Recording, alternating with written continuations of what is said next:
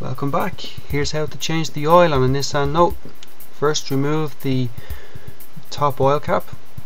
Leave it loosely in position so dust doesn't get in there. And the sump takes 4.5 litres of oil. Now I've already drained the oil but to access the oil drain plug it's underneath uh, on the driver's side at the front and it's a number 14 socket.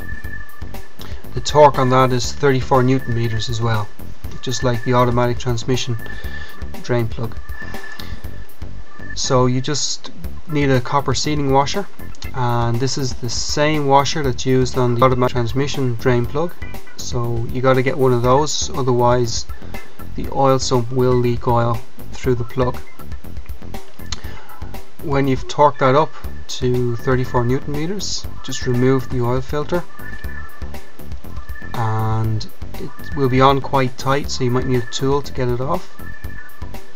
And just wipe down the side of the engine block with a cloth. Drain all that oil out and fit the new filter.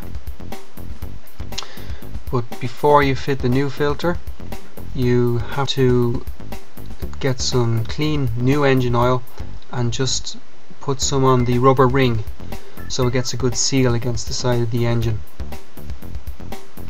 So just remember with a new filter and an empty oil sump, Nissan Note HR16DE engine takes 4.5 litres of oil.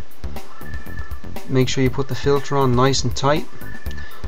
Tighten it as much as you can by hand and do not use tools or you'll find it very hard to get it off. So the last thing to do then is to fill up your engine with oil and you're good to go for another 11,000 kilometers.